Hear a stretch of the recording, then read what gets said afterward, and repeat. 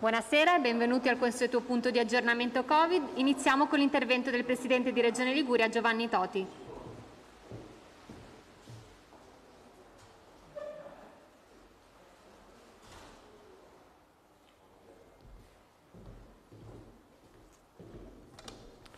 Eccoci, allora,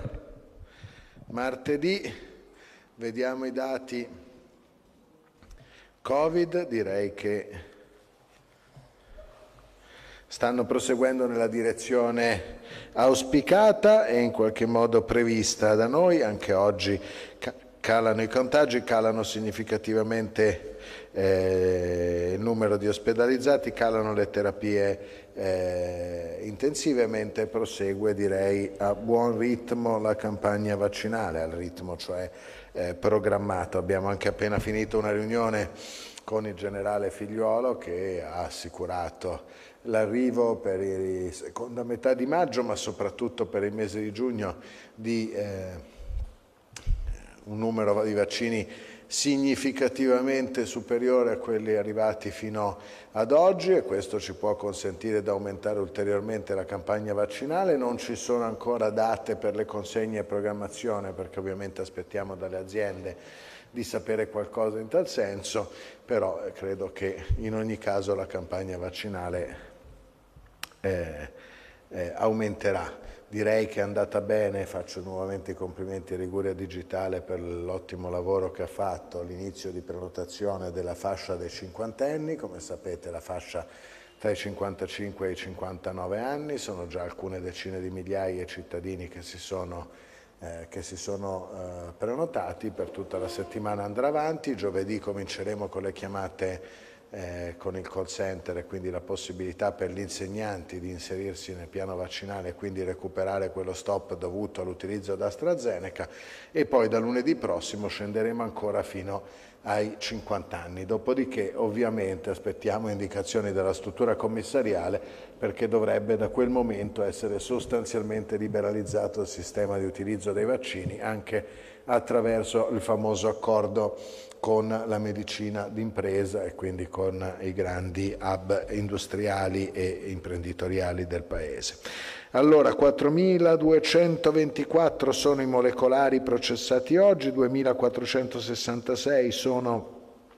i test antigenici rapidi, 128 i positivi nell'intera regione, meno 172 casi positivi totali sul nostro territorio, ovvero il saldo tra guariti, dimessi da ospedale, insomma usciti dal circuito Covid eh, in via definitiva e i 128 nuovi eh, contagiati. 29 sono nell'Imperiese, 16 nel Savonese, solo 59 nella città metropolitana di Genova, 42 Genova vera e propria, parlo dell'ASL 3 e 17 nel Tiguglio, ASL 4, 24 invece nello Spezzino. Calano significativamente i ricoverati negli ospedali, un trend che prosegue da giorni, sono meno 18 in tutto, 421 i ricoverati in totale, quindi in media intensità scendiamo abbondantemente sotto i 400, sono 47 le terapie intensive oggi occupate nell'intera regione per il Covid. Eh, la discesa direi che è significativa in tutte le aziende, ovvero in, ASL 1 meno 3 letti, in ASL 2 meno 6, al San Martino meno 3, al Galliera meno 2, nel Tiguglio un, un ricoverato in meno, 3 in meno alla Spezia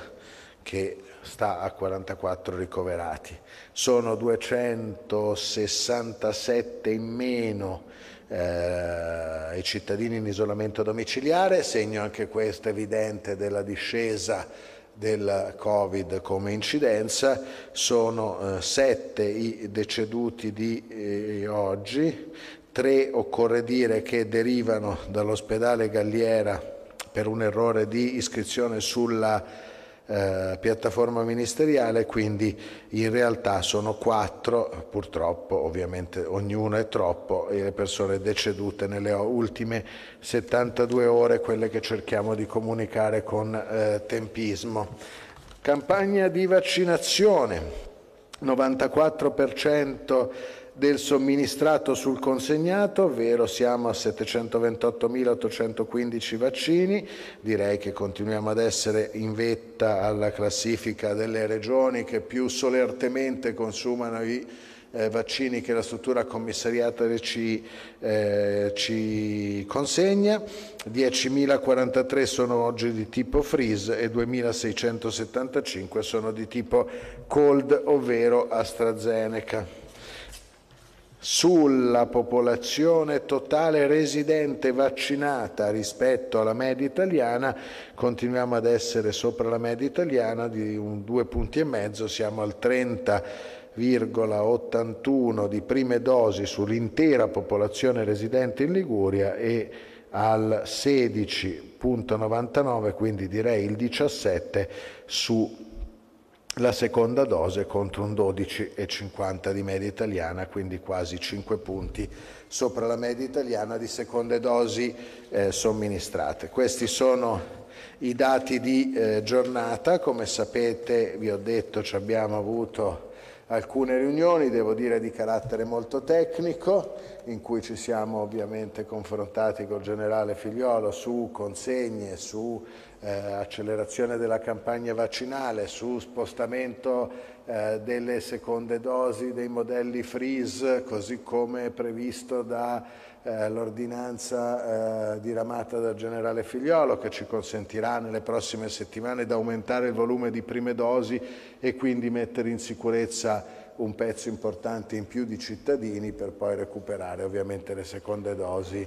eh, con una o due settimane di ritardo a seconda delle tipologie di vaccino, ovviamente ritardo eh, clinicamente approvato dalle eh, agenzie di regolazione del farmaco. Direi che domani poi ci incontreremo per eh, ragionare eh, di nuovi criteri di cruscotti di comando più snelli per gestire l'estate e la fase di riapertura su cui mi auguro che possa eh, ovviamente eh, il governo prendere alcune decisioni auspicate da molte categorie eh, nel più breve tempo possibile. Sapete che come Regione abbiamo più volte espresso la necessità e l'urgenza di rivedere alcune limitazioni, una su tutte il coprifuoco, ovviamente molto penalizzante soprattutto per imprese da sempre nel eh, al centro delle misure di contenimento, parlo della ristorazione, della somministrazione di alimenti e bevande eh, in, eh, più in generale e speriamo che ovviamente la riunione propedeutica di domani sui nuovi criteri di monitoraggio sia anche propedeutica a decisioni in tal senso che arrivino in tempi eh, rapidi. Eh, mi sia consentito, già che sono su questo podio, dire due parole su autostrade. Oggi abbiamo vissuto un'ennesima giornata complicata con l'interdizione al traffico di un viadotto tra Lavagna e Sestri eh, Levante, eh, decisa sulla base di richiesta degli ispettori ministeriali per una nuova eh, analisi eh, di rischio che penso, spero, auspico così come mi ha assicurato l'amministratore delegato di autostrade, sia in corso giusto in queste ore. Ho sentito in questo senso anche il ministro Giovannini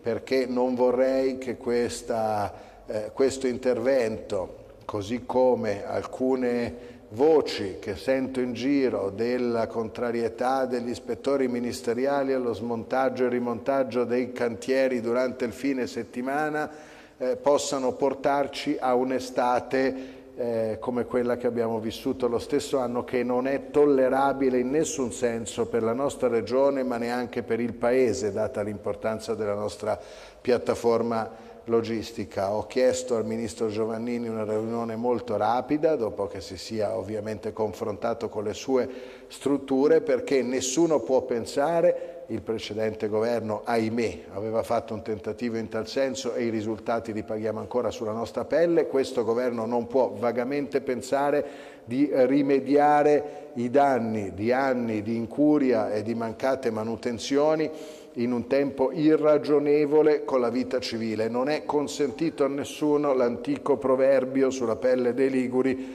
l'operazione è perfettamente riuscita, il paziente è morto occorre, io so che fare alcuni mestieri, tra cui gli ispettori ministeriali, sono mestieri difficili in cui si deve scegliere tra rischi calcolati diversi, è rischioso procrastinare talvolta alcune manutenzioni, così come può essere rischioso un'autostrada che viaggia per 300 km a senso unico, l'abbiamo già provato con i guai delle nostre ambulanze, con le consegne ritardate dei vaccini, con un aumento di tasso incidentale importante. Se uno fa un mestiere difficile deve essere in grado di assumersene la responsabilità o levare il disturbo. Assumersi la responsabilità vuol dire una scala di priorità, quello che va fatto immediatamente, quello che va fatto domani, quello che si può fare tra due settimane. È ovvio che tutto questo comporta assumersi la responsabilità di un rischio di spalmare manutenzioni importanti su un arco di tempo che consente ai cittadini e alle imprese ligure di vivere, è una responsabilità che si devono assumere.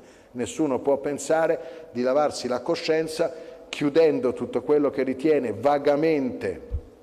importante o in qualche modo eh, sospetto per, per, essere chiuso perché in questa regione non si vive più. Occorre che ci sia un piano di priorità stabilito, condiviso. Tutte le volte che Regione Liguria interviene per cercare di alleggerire la pressione su questa regione c'è qualcuno da un'altra parte che immancabilmente interviene per appesantirla nuovamente. Questo non è francamente tollerabile più da nessuno. Grazie, questo non c'entrava nulla con il Covid, molto con le riaperture dopo il Covid. Abbiamo una domanda in sala da parte del secolo XIX, Mario De Fazio. Sì, buonasera Presidente, sulla questione dei richiami per i vaccini Pfizer e Moderna, la accennava poco fa, eh, c'è la circolare di Figliolo che dice spostate da 21 a 42 giorni. Oggi la direttrice di Pfizer Italia ha detto eh, facciamo attenzione, è consigliato dopo 21 giorni, un po' di confusione che non manca. Su questo Cosa... il, gener il generale Figliolo ha fatto un chiarimento eh, ovviamente, come dire, ahimè, eh, avere una, una, una, linea univoca sui vaccini pare qualcosa di eh, non, non, possibile. Eh, alcune categorie considerate più fragili, a, eh, ovviamente a giudizio del sistema medico, possono essere continuate a fare a 21 giorni. Eh, per tutti gli altri è raccomandato e auspicabile lo spostamento a 42, quindi è possibile che su richiesta del medico curante, dei centri di carico dei nostri eh, pazienti, per alcune categorie vi sia nelle prossime ore una riflessione. È chiaro, senza dire, che questo ragionamento faccia sentire coinvolte le migliaia di persone, che si tratta di pochi elementi di nicchia. L'esempio di scuola è l'incompatibilità del vaccino con una cura che deve iniziare di qua a qualche giorno, quindi pazienti oncologici in attesa di chemio, radio di particolare tipo non ritenuta compatibile e che debba cominciare ovviamente nel più breve tempo possibile e quindi eh, togliersi il vaccino diciamo di torno per poi poterla cominciare è un elemento fondamentale. Per il resto noi ci atteniamo a quelle che sono le raccomandazioni delle istituzioni nazionali, sarà poi AIFA, nel caso EMA, l'Istituto Superiore di Sanità, il Consiglio Superiore, ad avviare con, eh, con i medici eventuali ulteriori riflessioni. Solo per qualche estremamente vulnerabile. Per qualche estremamente vulnerabile e non solo per qualche estremamente vulnerabile che si ritiene compatibile con i 42 giorni, in particolari situazioni di incompatibilità tra il procrastinare la seconda dose e cure in corso, cure in corso eh, in, in, via di, eh, in, via di, inizio o diagnosi che comportano esami incompatibili con, ecco, questa è stata tipicamente le, a titolo, come si dice, meramente esemplificativo eh, le, i casi in cui potremmo decidere di mantenere a 21 giorni. Se non c'è altro andiamo al Carlo Felice dove ringrazieremo tutti gli insegnanti con uno spettacolo che si... tutti gli infermieri, gli insegnanti dobbiamo vaccinare, invece gli infermieri vaccinati con un grande spettacolo che è stato organizzato anche con l'aiuto della generosità di alcune associazioni ed imprese genovesi che ringrazio e credo che rimeritino un ringraziamento. Buona Buona serata a tutti, ci aggiorniamo a domani.